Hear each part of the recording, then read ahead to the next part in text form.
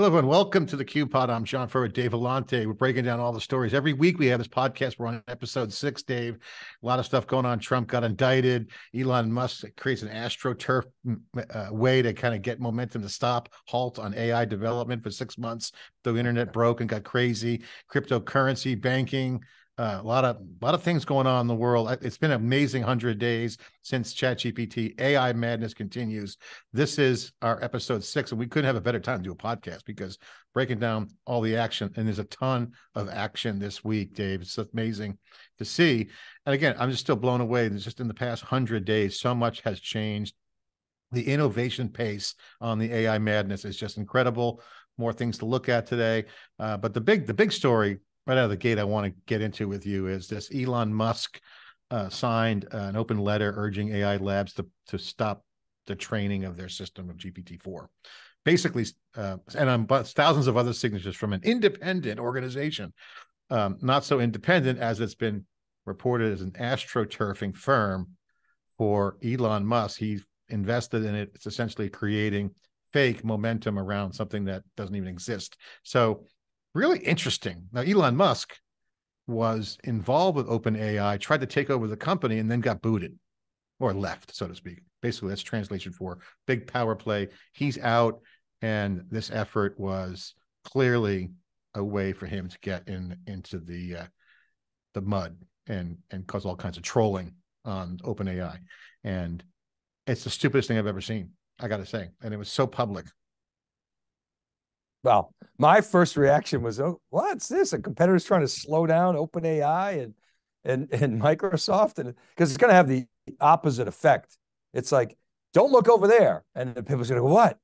you know, for, so for the people outside of tech who don't know what you know Chat GPT is, now they're going to be poking around at it. You know, I I was talking to Andy Thurai, who you know, he follows AI for, for, uh, for uh, pretty closely I asked him what his take was. He said, "What happens after six months?" And I thought that was right on. I mean, are other nations going to sign on for this, or is this uh, going to be like all, climate it's, change? It, it's first of all, it's bullshit. First of all, it's the stupidest thing I've ever seen. So, what is six months going to do? All right, number one, nothing. Number one. Number two, you got to get it out there and let the let the let things break a little bit, fix it. This is a clearly a generational shift, and also there's a competitive advantage for outside the United States. Remember, you got the Chinese and the Russians also trying to weaponize chat, um, uh, AI as well. So, you know, this whole scare tactic of civilization is going to die, jobs are going to be risk, human humans are going to lose control to the machines. Um, it's actually intoxicating and fun to listen to that nonsense, but it is kind of sci-fi and kind of cool on one hand. But the, the reality is, is that this is so early on. I mean, misinformation is is a legit point. We pointed that out on the pod um, that that's going to see a lot of misinformation with these tools. But with the misinformation, you're going to have solutions. This is the beginning of what I think is again the generational shift of new kinds of startups. Problems create opportunities, and this kind of massive growth, the online population, okay, of uh, AI users is going to look a lot like the internet online population when the browser hit. You pointed this out on the a couple pods ago that the the dot com bubble. This is a key metric. I talked to like at least 10 entrepreneurs this week doing AI startups, Dave, and they all pointing to the same thing. And I said, the number one metric is this market is growing, and the, the KPI is the number of online users. There's a massive surge. This is for everybody. And you're seeing the numbers. So I think the next six months are going to be probably more high velocity than ever before the fact that Elon Musk and the competitors to OpenAI are trying to slow it down is clearly obvious. This is a, a blatant attempt to slow down the competition. I mean, I, you're right on. I mean, the use cases are amazing. You're at you're at parties, people never heard of this. You go, what, what do you do for a living? And you can show them how they could use Chat GPT. They're like blown away. They like their eyes like light up. I, I mean, I do agree that if you're going to ask Chat GPT to write code to take over a computer and you know create havoc. You obviously want to control that, but you, can't stifle innovation. You can't protect the the past from the future. Right? Well, we're reporting on SiliconANGLE today. Breaking news: Italy's private regulator temporarily bans ChatGPT and probes OpenAI, claiming the company has no legal basis for mass collection and storage of personal data. So they're banning it out of fear and they're playing the privacy card. Well, we know that essentially OpenAI is strip mining the web, basically. Yeah. And that that's happening. So it's it's really the web. So I mean, I don't, so China, I mean, Italy bans it. Again, this is this this year people are scared. They don't they, they want to kill what they don't understand.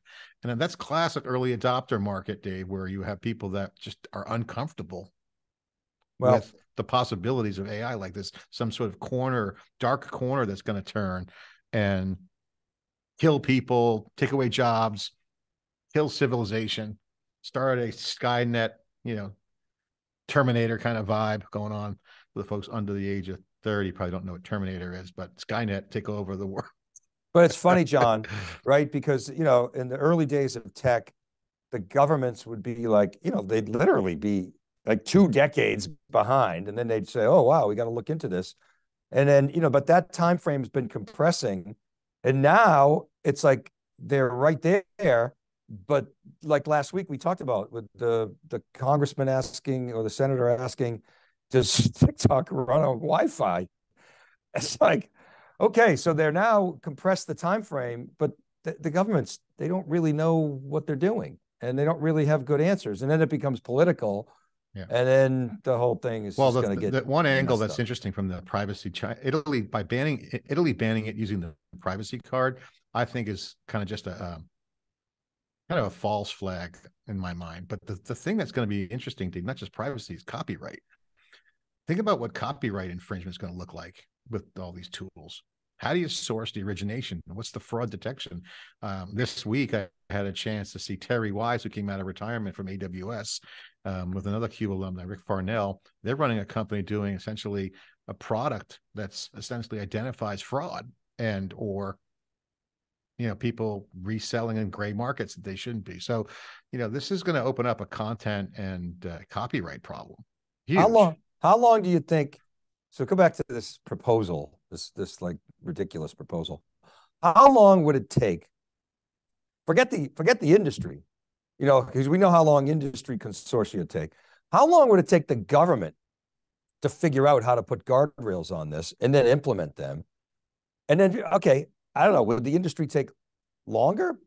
Probably just as much time. You're not going to ever build a consensus around this. So it's look at it's not an easy answer, uh, but I think I think education is part of it. I think tools. I think there are tools that can you know, like you, you, I think you were telling me one of the pods that you can sniff out, you know, chat GPT signatures. Okay. So maybe tooling to protect people. But if you're going to have like a try to build a consensus from industry or government, forget it. What a waste of time that is. Well, the innovation is massive. I'm on Twitter right now, and this guy Lance Martin, who was a PhD uh, grad from Stanford, basically wrote an open source thing using Chainlang AI, one of the tools, Chain Chainlang and Haystack, the two ones. He essentially built via Chat Chat GPT four API, sucked in the the top podcasts, uh, Lex Fridman and the All In podcast. I'm talking to about doing our podcast and all of our fifteen thousand Cube interviews. He's got a utility where it answers questions. You know, you know, what does someone think about this? What's the best investment? It's going through the corpus of the podcasts the multimodal thing is happening. Dave. Audio is becoming Q and A like Quora almost or chatbot. Audio is becoming data. Video is becoming metadata. I mean, this is really amazing. So, I mean, he just got put it on open source, so it's all open source. this is again going to be a surge, and now this open source's role in this is going to be interesting to watch. It's going to make social media fake news look like child's play. Um, yeah. You know, on the other hand, maybe people just kind of won't won't trust it, and they'll maybe maybe there's maybe there's a silver lining here, John. I mean, how many times have people texted you something and said, "Look at this, man," and it's the, you know their agenda, and you're like, dude, that is fake, and yeah. and they're like, oh, sorry. There's so, well, that's why I brought up that firm that, that um, Rick Farnell and Terry Wise are running right, right, now. They take a basically a digital protection, digital brand protection company, and they're turning it into a cyber and or verification process.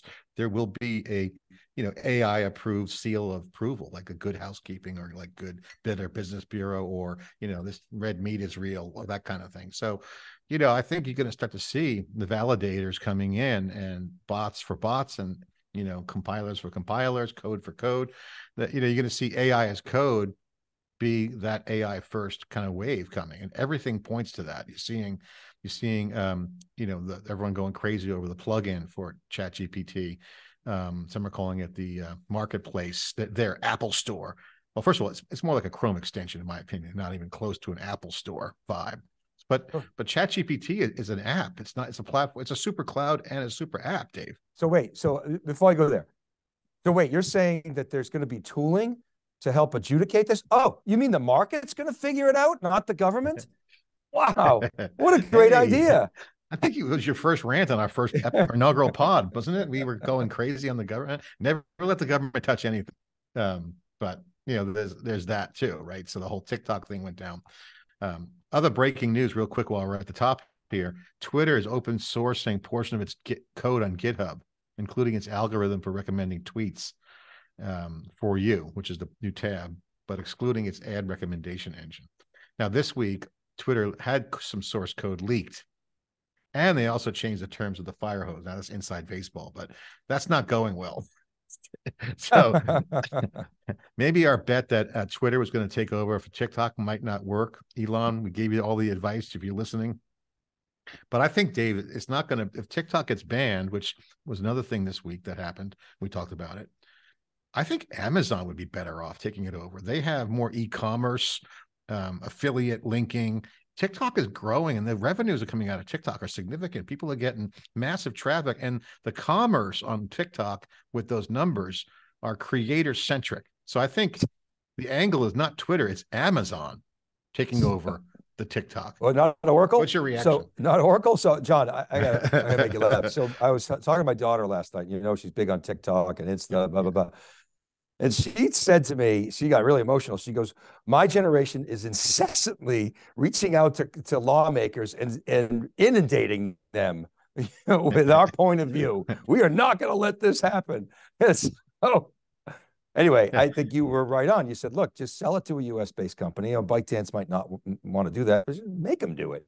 And, uh, yeah, Amazon, that's interesting. But yeah, some kind of reputable firm. Again, Oracle was sort of thrown around. So why not? You oh, know, they're so trustworthy. You know, I mean, they are, and, and right. they got the engineered systems. They definitely got the security, no doubt about it. But the question yeah, is, I mean, the question is, what what happens next? And and it's going to be interesting around TikTok. The bill that they put together was basically a surveillance society.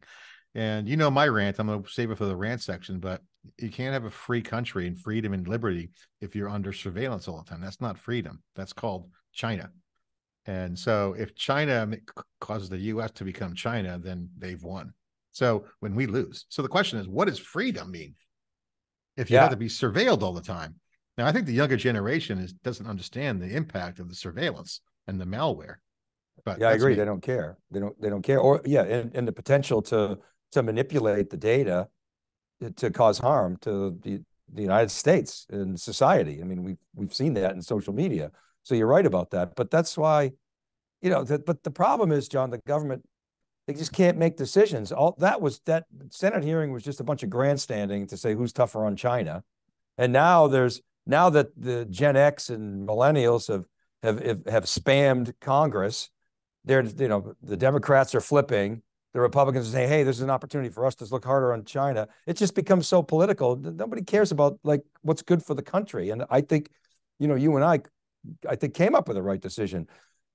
Make ByteDance sell the majority of the company to a US based, you know, entity and govern it accordingly. You know, boom, done. So yeah, well, AI madness continues, Dave, and and I think it's going to be one of those things that, that um, just if you look in the past hundred days, I said this at the top, it's been pretty brutal how fast just our interview. I did an interview with the ceo of hugging face just like a month and a yeah, half ago. Right. Okay and look how fast that market's changing for the better for them. So i think you know i'm really excited by the ai movement. I'm not afraid of it at all. I think the ban is nonsense. It's politically motivated competitively charged and it's all, basically it's astroturfing got google's attention got school well, right it got, classic a, classic fake operation to give momentum to a non-issue, make it appear like there's momentum against it. There's and everyone's walking back their statements a day and a half later, Dave. I know. Like, you know, like oh shit, they got bamboozled. Oops, maybe I shouldn't got- have signed yeah. that. and then and then this week you got uh, crypto madness. So AI continue. We're going to pound this all all year. I think we're going to be digging into AI. But you know, you also brought up on the first podcast that bullish on crypto. You know, I am too. But you know, how I feel about the the that whole coin shit coin business. But but and the, and the fraud. But the Binance CEO got sued on compliance. And then in China, all the China banks went to Hong Kong and are offering a safe harbor for crypto companies. And now today, people are having a hard time converting their crypto. So, what's your take on this? Because this also is China setting up in Hong Kong. What's the international banking system look like? What's the role of the United States? It's clearly the United States is clamping down on all crypto activity uh, to get rein it in, rein in the chaos, as we say. What's And your you take on this? You saw, and you saw, just to add to the news, the NVIDIA CTO basically said that crypto has nothing useful to, to to- adds nothing useful to society, right? And- And they shifted, right? What's his name? Michael uh, Kagan. Michael Kagan, right? And they shifted their supply toward AI at the expense of, of crypto. And okay, so he says adds nothing useful to society. Well, neither do a lot of financial products that are simply designed to make more money for New Yorkers with homes in the Hamptons, like crappy baskets of Hamptons and- mortgage-backed And, securities. and you Miami know? now too. They're, all- they're Miami, calling it West. Palm Beach, the New York City of the South. Um, the Kagan So- guy, though, Dave, this is interesting. And I remember you and I had a conversation on the Cube. It's at VMworld, I think five years ago or something, maybe 2018, 2017. We asked Pat Gelsinger at, at that time, the CEO of VMware, what he thought about crypto. And he was right right out of the gate. I thought I think it's bullshit because the sustainability angle. Remember that interview? Yeah, yeah, yeah. But, but So this is what this guy's coming from. He's saying the crypto mining is problematic. Now, I think it's just like fashion. The wind's blowing against crypto. AI is the hot thing. Obviously, AI and, and GPUs are go great together. So you know, Nvidia wins on either wave. I know, but but you know, come on. Come there's, on. there's arguments on the other side, like the whole move to proof of stake. There's a lot of things that that, that consume energy. So I don't think we can. I think it's I think it's a bullshit statement. What do you? I think it's bullshit that he said that. I think it's I was I I totally disagree with him. I'm like, first of all, it, the banking crisis to me, the most recent banking crisis, is a case for Bitcoin. I mean, hello. yeah, Now- exactly. Now you mentioned the Binance thing. I don't think that looks so good for Binance, to be honest with you. So I, I I- I'll tell you my personal story. So I have, I've I've had a Binance account for a long, long time, and then what happened is when the U.S. cracked down, Binance customers were told you got to move all your crypto out of Binance into U.S. Binance eh, because you're not going to be able to access your crypto anymore. And I never did it. I just left it in there. Yeah. And when I when I when I would travel overseas, I would check it out. And then I said, oh, I can just use a VPN. So I went in on a VPN. Well, so they they got the CEO, I think, of the company saying, "Oh, wait, hey, we have this big Chicago, you know, options trader or whatever, whoever it was, and they're a big account, and and saying, hey, just make sure they use a VPN." So they've got that on email. So really bad. And then the other thing is, so I went in the other day, VPN no longer works. They get a message up, they you know sniff out, they figure out it's not that hard to figure out you're still in the US, even though you're on a VPN. They're like, oh no, you're in the US. So they, that, but it does not look good for those guys. And you know what? Uh, Hey, if they're breaking the law, they should be slapped. I mean, I'm all for that. I just, you know, I'm down on the government meddling, but if people are Yeah, breaking, if it- companies are breaking the law, I mean, what does that even mean? I mean, inter- this is an international issue. I've when you see these big trends, there's always a rock on the river that causes the water to stop. Someone puts a blocker up, but the force is going to move around of all this. In my opinion, you can't hold back the AI wave. You can't hold back the crypto blockchain wave. That's critical infrastructure, Dave. We've been riffing on this for years, and yeah, there's a little bit of a you know shit layer of shit coins up there, whatever. That's got a little bit bubbly, and you know shit happens when it's like that. So reining in the chaos is what's happening right now. Let the chaos reign, reign in the chaos. So I think, and you, I think you believe this, the infrastructure aspect of blockchain token economics is completely legit absolutely. opportunity opportunity from an infrastructure standpoint.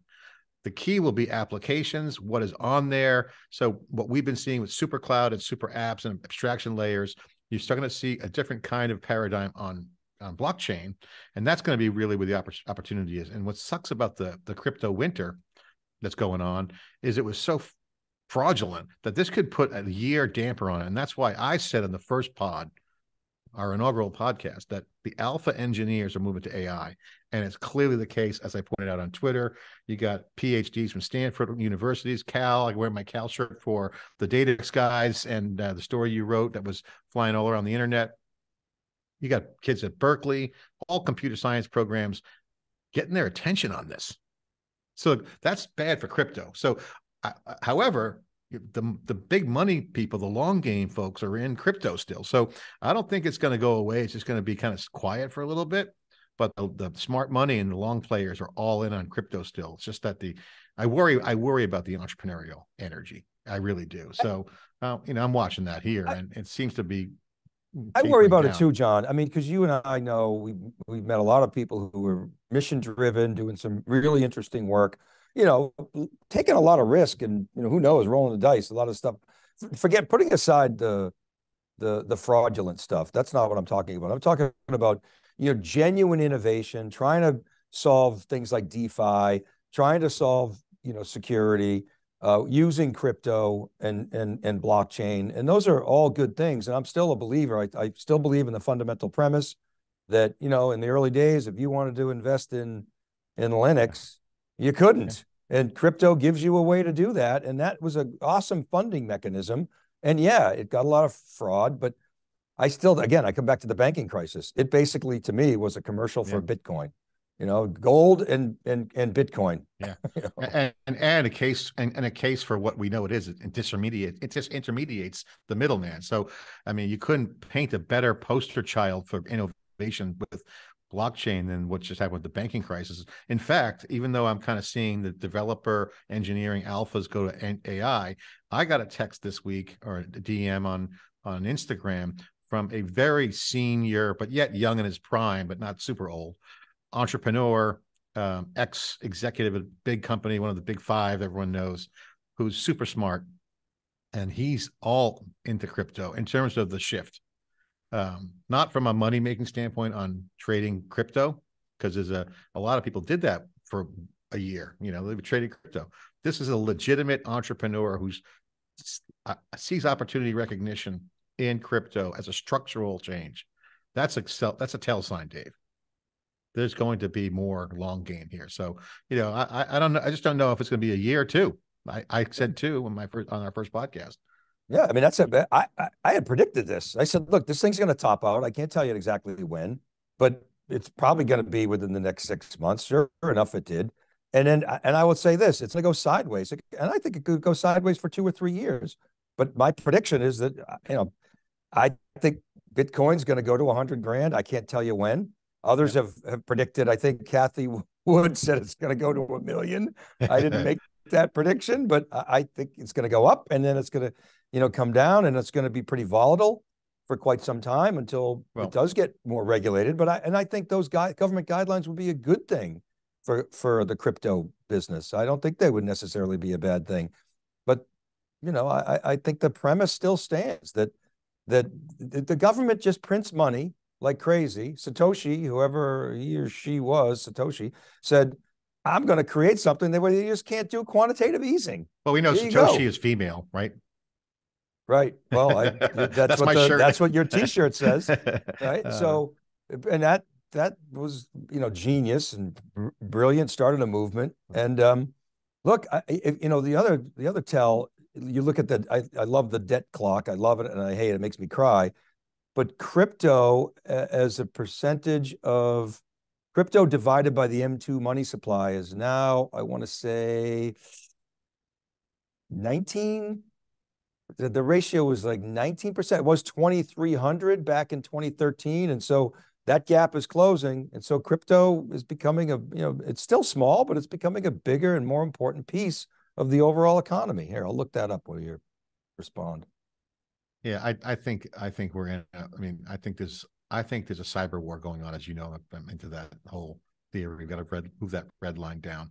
Um, and- 17. So here's the ratio. It was the so crypto, the dollar to crypto ratio uh, meaning the the the valuation of crypto divided by the M2 money supply was was uh, other way around rather was 9,489 to 1 in 2013. it's now 17 to 1. Okay, so that says crypto, you know, continues to that's something that is worth watching. And and I think there's it's legitimate. There's not just I mean, a Warren Buffett, you know, says no and Charlie Munger and so many naysayers, but you know, that that's just because they're smart and rich doesn't mean they're right. Well, today is a day where people are freaking out in the U.S. because of the Donald Trump indictment. So half the country celebrating, the other half is revolting. Oh boy! Um, so that's news, and that we has to be addressed, Dave. I mean, like, I just think that you know, if people go down the civil war route, which I predicted years ago, by the way, um, decade ago, um, think. People got to chill out. I mean, the Republicans going too far here. And they just got to say, look at Trump. Don't even just don't even throw your hat in the ring. Just step aside. Republican Party is they're stuck, and the Democrats, you know, they they got Biden. He's a puppet, and so you know you got you get a lot of different kind of views. It's it's, it's a terrible party makeup on both sides. So it's going to be interesting. This is a pivotal election because you want to see new leadership come out of this, not same old, same old. So, you know, I hate to see that Trump's coming back into to to um, to uh, throw his ring in the hat in the ring. I think it helps um, him. I do. I uh, think it helps him, John. I, I don't like it. I, I don't. I mean, I, in fact, you know what I think about about Trump. I mean, uh, many of his policies I agree with. I don't agree with the man, and I I can't get by January sixth. I'm sorry. You know, the peaceful transfer of power. He tried to stop it. So, yeah. eh, yeah. you're out. You're dead to me in that in yeah. that environment. So, but but I think this is bad because I think it emboldens him. First of all, people who are against Trump then this is not going to change anything. People who are for Trump, this is just going to deepen their affinity yeah. no, to him. No, so good, I, I no, good, no good comes out of it. I just it's so I agree. It's so bad. What's the outcome? So let's. Uh, uh what is the outcome that's good out of this? I, I don't get it. There's a lot of headlines. Lindsey Graham suggests Trump punch a cop on the way to Tuesday's arraignment. Now that's really smart, right? That's the shit that's going down. People are blowing their like pretty much crying over that Fox News. Um, Jim Jordan's freaking out. All the Trumpies are all like, you know, this is they're they're gonna die on this hill, you know, and so it's just he's he should be a footnote. He should have been a footnote, and he never should have threw his name into the hat and ring.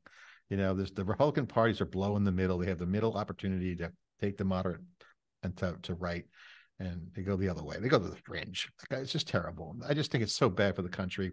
And people, people don't chill out and let the air out of the balloon slowly, it's going to pop and it's going to be a tinderbox. So I just don't think it's healthy, Dave. And this is just, by the way, that situation. The stuff we've been talking about, the cyber warfare, the geopolitical landscape, the current banking system.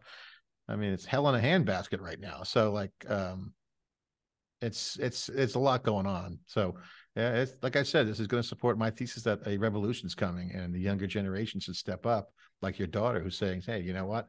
You know, we're we're we're against this old thinking." So how about both parties come up with better candidates, or maybe there's an independent candidate that could come out, right? I mean, yeah, you know, I mean, President Biden is is he's getting up there, right? I mean, he's kind of old. I think he's vulnerable. You know, he's he very high probability he could be a one-term president.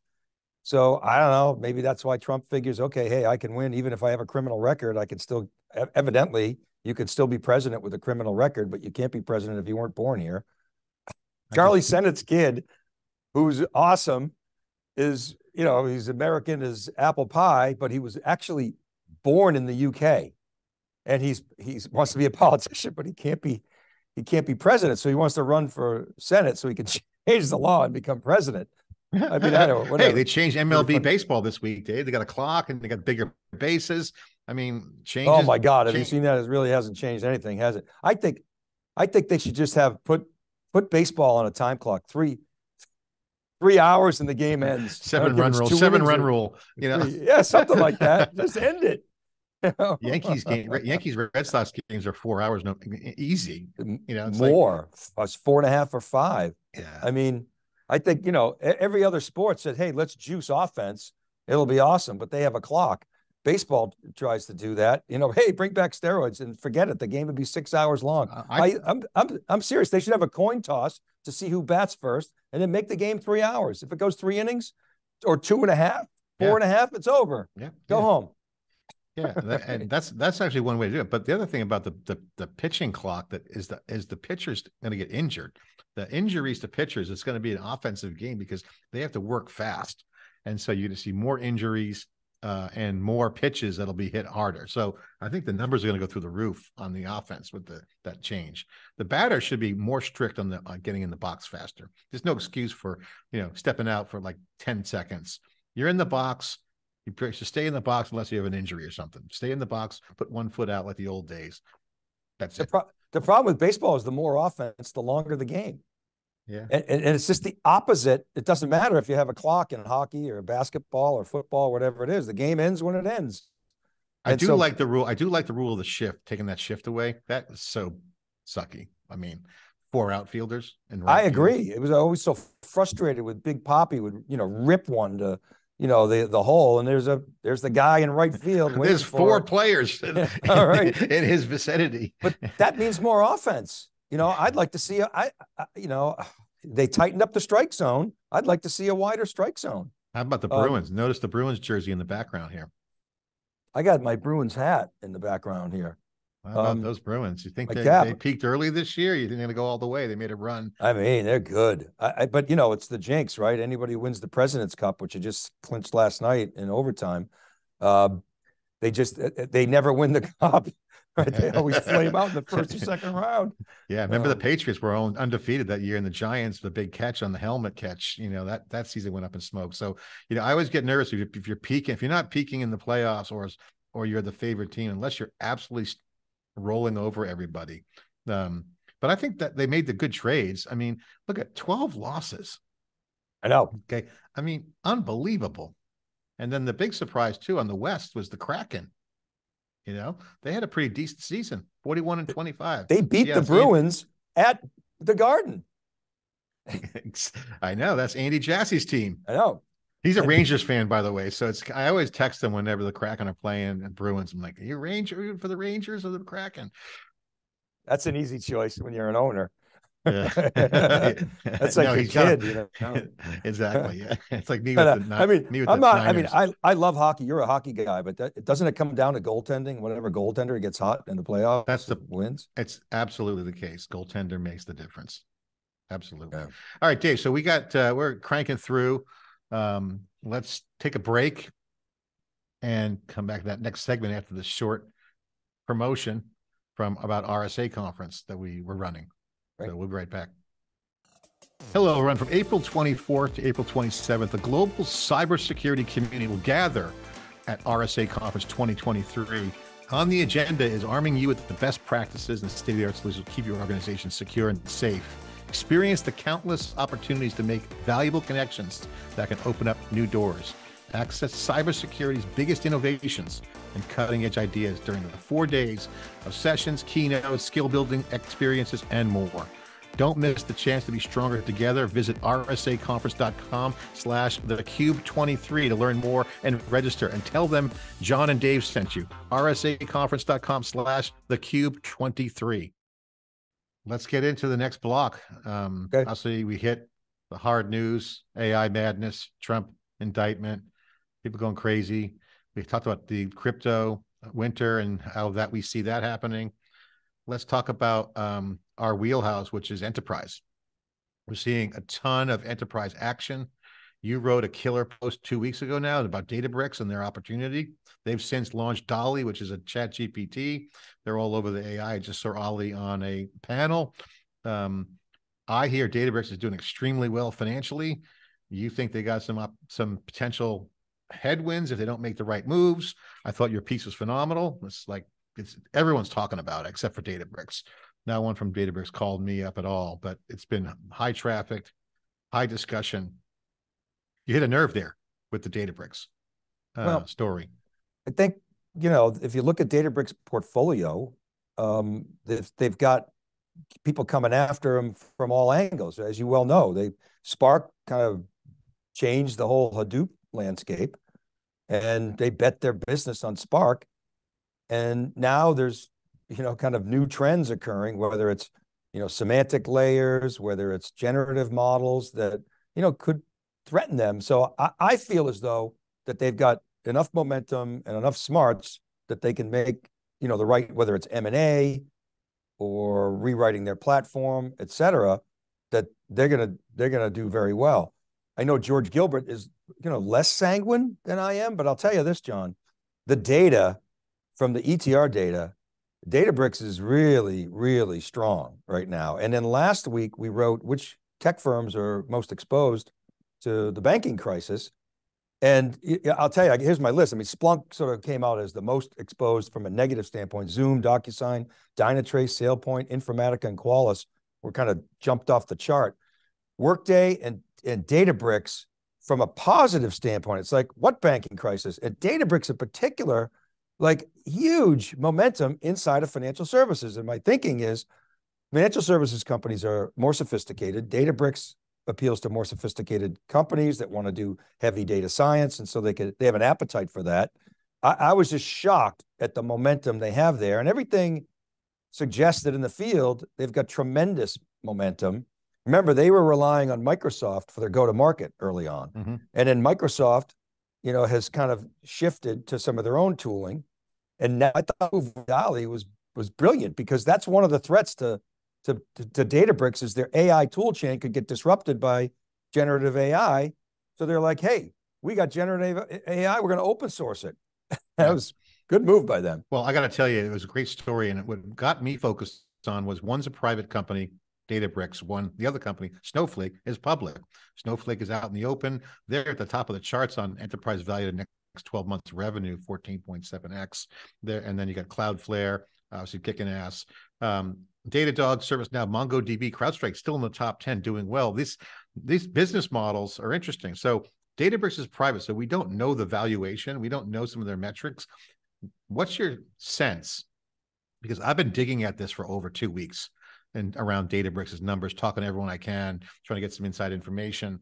And what I've discovered, again, my synthesis, my dots connecting, is that Databricks is doing extremely well, Dave, financially. Yeah, and, they are. And What's your what you what are you reading? So, so the the to, the topic of today's breaking analysis, which we'll publish tomorrow, was I had a, a, hedge fund manager on, and she had the premise that look, she's been buying semis, and semis have been rocking lately. You know, year to date they're up, Nvidia's up like ninety percent, AMD's up, the the the semiconductor indices are are, are all up. Uh, but enterprise software is not. Snowflake's down, you know, significantly. Z, Zscaler's down, although some some some uh, uh, cyber companies like CrowdStrike and Palo Alto are, are, are doing pretty well. Um, but there's a real divergence between semiconductors and enterprise software, mm-hmm. and so th- that can't be overlooked. You got to start saying, is are semiconductors a leading indicator? Now, as it as it relates to to Snowflake and, and Databricks, she she shared some data from Battery Ventures. You got the cloud. This is calendar year 23 growth. You got the cloud providers collectively growing at 20%. I got them at 21%. So that maps Snowflake. Uh, this is calendar year 23. Snowflake 40%, Cloudflare 37, CrowdStrike 34. You know, kind of down the list. The aggregate Mongo 16. The aggregate average of all those kind of cloud companies, enterprise software companies, 28%. So well down from what we thought in the pandemic. So if if Snowflake's growing at 40% in the calendar year, I I would guess, and they're, you know, I would guess that that Databricks is growing, you know, significantly faster than that because they're smaller. They're probably half the size of Snowflake. Yeah. So they are kicking ass. What's the market I, cap? I no what's question. the market cap of Snowflake right now? I want to say 30. I'll just let me search it. 30 billion snow stock. Let me see. 30, 40 billion. Let me see here. 49 oh, 50 billion. billion 50 billion 50 billion so. i mean databricks has got upside even though if if they reset their i think their last valuation was 30 something billion yeah it was and so uh, if let's just say hypothetically that they cut that down to say 20 billion we're picking a number 25 billion yep 20 to 25 billion if they do any additional financing that's private they have huge upside if snowflake's the proxy if their numbers are the same as Snowflake, which I think they are in terms of like momentum. Um, you know, as you know, you know, the margin hits are going to be, or, or the free cash flow is not the real metric. It's enterprise value over the next 12 months is the, the top metric right now, SaaS companies. So here's the question. Databricks has got upside. They just announced Dolly. What's let's discuss the angle of um, AI impact, Dave, to to margins. How does the SaaS business model impact these companies? Because you know, there's going to be companies like Databricks or Snowflakes. If and and the way Ali's talking publicly, he's got that little smirk. He's got that you know smirk where he's like he knows something we don't. Um, and I think it's machine learning. I think they got a lot of action going on there. Um, that's my guess. Again, no outside information, just my assumption. If they got AI as a tailwind to help their margins, they could be freaking profitable. How yeah, do I you think, see that happening? Well, first of all, I think that people are going to, most companies are going to acquire, buy AI, AI through their SaaS vendor. That's the, the most logical way to get it. So I think to answer your question, those SaaS companies that can take advantage of AI are going to be in a better position. I, I wrote recently about RPA. Is it is is RPA going to be, you know, consumed by generative AI? And I think the answer is some will. The point tools will. And then, you know, can a UiPath actually turn uh, uh, generative AI into a tailwind? You know, their CEO Daniel Dines said, "Hey, we, we've been working on on on generative AI and large language models for a long, long time, and and they're going to actually simplify the adoption of our products, and that means that our customers are going to be able to drive more yeah. productivity. And so it's that you know work backwards from the customer as the customer applies AI and has an ROI on their business. That's going to be uh, that's going to drag along those companies, those yeah. technology companies that are best positioned to provide that. So yeah, I think the SaaS business model is going to continue to thrive, and I think specifically why I like the AI injection is in this capital markets where there's not a lot of IPOs going on and or you know big financing unless you're like a Databricks or something like that. This the free cash flow is not a big metric because they are funded, but under squeeze like this, where the capital markets are tight, you got to do more with less. The classic, you know, make you know the the memos that go around. Oh yeah, runway.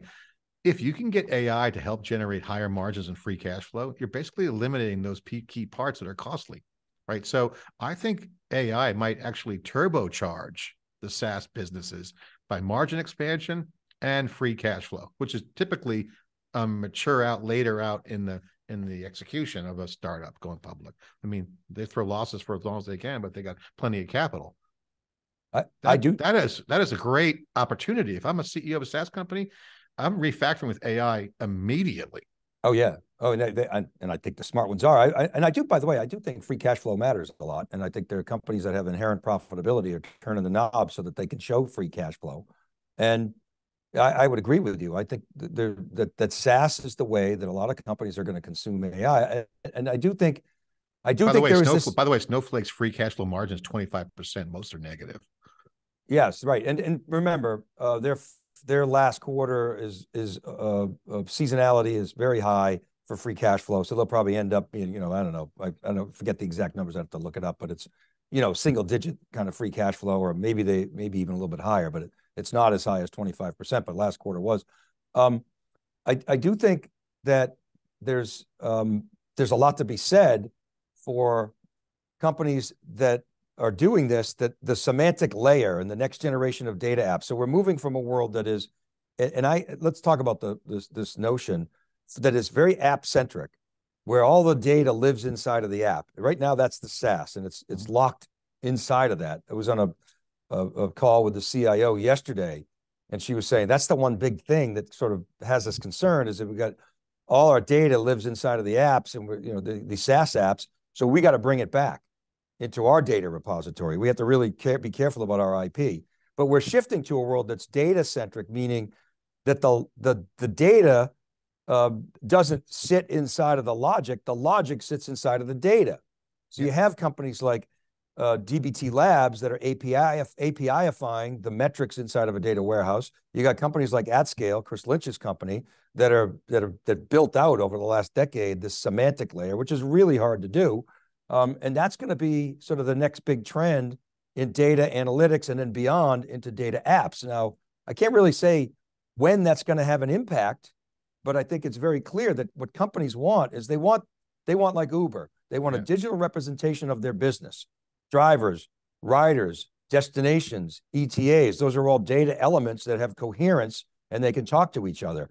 You can't do that in business today. So essentially a digital twin of your business, people, process, places, things that you can then accelerate and monetize. Yeah, and I think having that data unlocked is critical.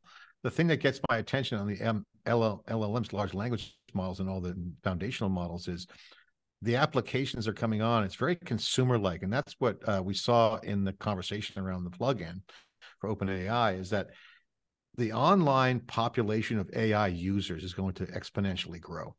So think about that for a minute. I mean, look at just the fact that ChatGPT is out there. It gives everyone the awareness that it's for them. So it's a consumer dynamic, what it is. And so, but developers are now just onboarding. So you're seeing a massive picks and shovels business for the gold rush that is AI around tooling, data unlocking, as you're pointing out, the semantic layer. You're seeing um, new new tools for um, multimodal data, different types of data working together. Um, this is like a significant mind shift from classic development. So I think there's a movement going on where you're going to see massive IaaS PaaS like things around how to stand up infrastructure and platforms for managing this AI stuff. So I think that's going to be an opportunity, Dave. And, and the question is, is that what does that mean for the mo- momentum that was just six months ago or more, a year ago, the data mesh layer? So like you have, so so the question Bingo. is, you know, it's it's like right okay, on. what what happens? Like because we had momentum with the data mesh. You got the edge, like you're pointing out, data within data. It makes sense at the edge. You got massive compute, which by the way is allowing all these developers to do all this large language models, AI stuff. So so it's like we're coming into a, uh, a science project of things colliding together at the same time. Different data sets large data sets small data sets open source proprietary gpu bolt on abstraction layer. I mean it's pretty intense. Yeah. And so we are seeing this massive distributed system build out. We're democratizing data. Ai is accelerate that data democratization. What does that mean? It means get a business get the data in the hands of a business person so that he or she doesn't have to wait days, weeks, months, whatever, to get data out of the data pipeline. And so this is where the kind of the super cloud, if you will, comes in. And and AI is playing a huge role in that. So you need a couple of things there. Uh, uh this tech, a lot of tech, obviously, but two big things are self-serve infrastructure, and you've pointed out data infrastructure is one of the hottest things going right now. And then you have to, if you're going to distribute data, you have to have governance. You have to have automated computational governance. And that's where AI is going to play a huge role in making sure that, that the person who has access to the data is the right person, that if you're going to share data, that it's governed and it's secure. That's a very challenging problem when you talk about a mesh. And, and then the next question is, okay, business model. OpenAI is challenged already on this. Actually, we, we predicted on the cube. I forget it was whether it was our first podcast. We predicted that Google wouldn't launch their their thing. If they did, it would be a separate company because of the backlash, which we're already seeing the backlash happen. But that being said, if if people go to the AI day, what happens to that data layer? What's the business model? Should they charge for it?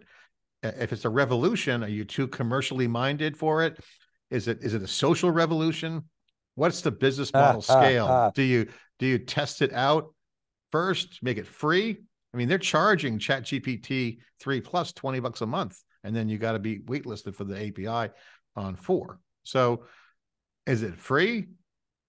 Well, and if Google offers it for free, you got two then, ends of the spectrum, right? Look at Snowflake. Look at Snowflake. Yeah. Snowflake is like they don't make they don't apologize for it. You got to come in. You want all these benefits. You want all this value. You got to come into our world. That's you, sorry. This is you got to come into our house. And once you're here, life will get better for you. But you got to come in here. And so, okay, we'll extend and support open source tooling, but they sell value. You know, Databricks kind of at the other end of the spectrum, which is, hey, we're going to open source it, and you know, we're going to provide a managed service that allow you to get the most value out of that open source capability. So, two different ends of the spectrum. I think they both can succeed. I think Google. If I was Google, I would and if I was advising Sundar Pichai, so anyone listening that works for Google, please pass this up to Sundar. Free. Match, match OpenAI, blow to blow, feature for feature, free. because Google's free. I mean, they have they have the scale, and they can afford so, it. And that would be the game changer. I think the one thing that could hurt OpenAI is their charging, and this is a horizontally scalable use case. I would say put it in the hands of everybody and get the data into your cloud, your app, and make it a super app, right? And not be trying to be the web because remember they strip mine the web, so they they stole from the web. Oh, stole. They borrow. They're using the web, and now they're charging for it. I don't think that connects with the audience, Dave. Like, if you know, think about that. Open AI borrowed or crawled or whatever word you want to call it, the web for their large language model, and now they're charging for it. Yeah, well, it's true, but I pay mm. for it. Do you? I do. Yeah, I like this a lot. I use, it, I use it every day. I do too. I just did a demo. It takes our really high quality content that we build in some of these video interviews, you know, snippets of them, feed it in. It creates great tweet storms, creates great questions. It answers a lot of questions. It's just such a scalable, heavy lifting tool for us with content and we're seeing that with podcasts. I mean it's going to be a media renaissance. You're going to see you're going to see a lot of things like break and new things emerge on media. The media cloud will be that we've been doing will be a big deal and i think going to be new players coming in. It's going to be fun. I use it for our you know for our, within our media cloud. When i have a guest on and we're riffing and we're all over the place and i get a transcript i'm like oh i got to curate this transcript. I just feed it into chat gpt i can give you the top five points of this conversation boom in bullets bang i get it back and then i edit it because sometimes chat gpt doesn't get it right but i know i was doing the interview and it's just it, it cuts my time in half maybe hey, two-thirds. I take your breaking analysis which by the way i love and, and they're big long reads they're really yeah. I mean you should, we could charge you should charge for that i mean and gartner would charge like a hundred grand per company for that that content. I feed it into chat gpt and it gives me a summary. Yeah. Like modern yeah. data platform issues by Dave Vellante. So you're, I mean, it's really going to get in this world of, you know, whose content's who. The strip mining game is coming, and you're going to see a lot of bad actors out there, strip mining content producers who are producing proprietary intellectual property. And the question is, where does it go? The web had a nice contract. It's free content, and you can choose to put a gate up. I think it should all be free. That's my rant. Yeah, interesting. All right. Well, we, are we in the rant? Section? Yeah, let's get into the. This, we're gonna we got uh we got the clock ticking. We got a few minutes left, Dave. So, um, let's get the rants on. So, what's your rant for the week? So I got the UK Competition Authority is moving forward with an in-depth probe of the $61 billion Broadcom VMware uh, deal. And, um, you know, look, the Competition Authority in the UK has previously done this, uh, and they've they've allowed things to go through. They gave Broadcom five days to respond. And Broadcom was like, what? Five days? Like, how are you going to respond five days for a $61 billion acquisition? They probably hit them up on the week. I mean, it's just ridiculous. This is an example of more government meddling. Uh, and I'm just curious to see if the U.S. is going to pile on like they did with the ARM and, and NVIDIA, which they, the U.S. basically provided no support for that deal, which was, to me, just a ridiculously lost opportunity. And I think actually the opposite is happening as a result of the Broadcom announcement that they're going to acquire VMware. It's creating more competition because it's been a tailwind for Red Hat and Nutanix because customers saying, hmm, okay, I'm just going to explore some alternatives. Let me go talk to Red Hat. You know, Nutanix has said, hey, we got some migration tools. But at the end of the day, that what, what's going to happen when Broadcom acquires VMware is they're going to take that complicated portfolio, which has been kept alive with M&A and, you know, have forced integration yep. and, you know, blah, blah, blah. And they're going to say, okay, we're going to simplify it and we're going to focus on those things that matter most. We're an engineering company and we're going to put engineering resources on those things. And look, if if they raise prices, you know, or not, whatever. Yeah. If the if the customer, if the business case for that customer is to move, the customer is going to move. It's Broadcom's job to make sure that the business case of moving is less attractive than the business case of staying. Yeah. And so, I mean, Broadcom, I, Broadcom is getting bamboozled here by the EU. EU stepping over their uh, out of out of their lane. I'll tell you why I don't like it. One is it's the classic thing, David. You look at anyone, you'll find a crime. That's the way. If you stare hard enough at something, you'll have a crime. They have a history. The EU has a history of doing this. In 2001, the EU blocked the GE Honeywell merger. Yep. it was a $42 billion merger. You factor in inflation, it's about the same kind of number, kind of scope. They made shit up. They had to do all kinds of gyrations, sell this division, do this, all under the guise that it might hurt competition. So that was Jack Welch when he was in his prime, and Honeywell, they ended up not doing the deal. So they essentially dragged them through the mud. The clock expired. It's like, eh, this is, you know, I'm not going to do all these things. And they ended up killing the deal. That was the deal killer for that yeah. for that merger. So I see the same movie play taking place here. Broadcom is not going to have a monopoly and and for competition because the market's changed. Look what's happened in the past hundred days. Right. You know, a, a, monopoly in what? In VMware? VMware already has a monopoly in VMware. And you're going to give that to Broadcom because okay, they have CA. I mean, actually, I would say Broadcom's acquisition of CA was good for CA customers because finally you had somebody actually making some investments well, in, the, in in software. Well, there's a there's a chip hoarding game going on right, right now. So as you know, my rant is that the supply chain blowback is coming. And what you're seeing and what I'm seeing and hearing in Silicon Valley and around the world is all these people, car companies, the Cisco's of the world, they're bogarting the chips, Dave. They're like, they want them and they're they're placing orders because they got screwed on the last turn. So that's kind of that's causing all kinds of forecasting problems on supply. So I think there's going to be a real issue with the supply chain over circulation of content, a product. That's going to actually not be good. So that's like again another issue that the EU is going to not understand that there's going to be plenty of opportunity for someone to step in and compete with Broadcom and VMware. So I, and it's and, and you got you got all kinds of other competition. So EU is nonsense, um, in my opinion. My, my Semi- go ahead. Sorry. My my rant, Dave, is quickly because we don't I'm not a time left. Is the TikTok thing? I still can't stop thinking about TikTok. Ah. Okay, the, you're seeing a downfall with Twitch a little bit right now. People are leaving. The last founder left, Emmett Shear. We've been hearing that um, the leadership there from Amazon um, was, um, you know, there's, there's rumors going around that it's not that great. Creators are leaving. Um, it's still massive numbers. They have Twitch. They got e-commerce at Amazon. I think I think Amazon could take over TikTok better than Oracle. So my rant is I'm really nervous around the bill that came out around regulating and and cyber secure cyber surveillance. Um, and I think that is a huge problem that we need to wake up to. If we want to be free and, and have liberty, like the United States of America wants, you can't have surveillance state because that's China. So that's my rant. You know, I'm always on that and always thinking about it. So uh, I'm a hawk when it comes to that stuff. Yeah, yeah, I'm well said, John. I'm right there with you.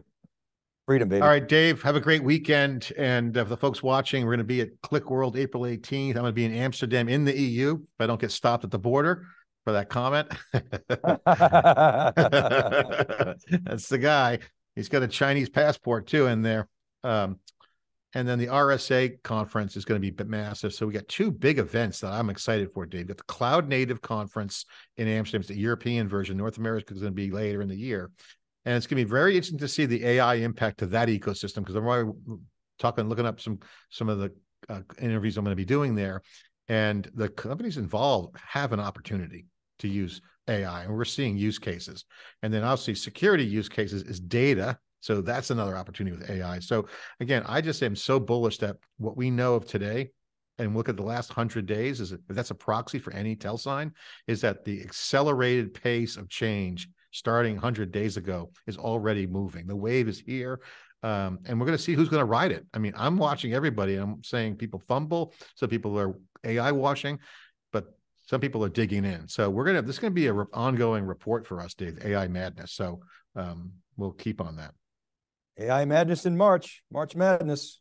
All right, Dave, thanks for your time. I know it's late on the East Coast. This is Always Friday. a pleasure, John. Great stuff. Yeah, episode six episode. is in the books. Thanks for watching. Let us know what you think. And check us out online. I'm at, at Furrier on Twitter. All handles are open on LinkedIn, WhatsApp. Dave Vellante. It's Dave. Thanks for listening.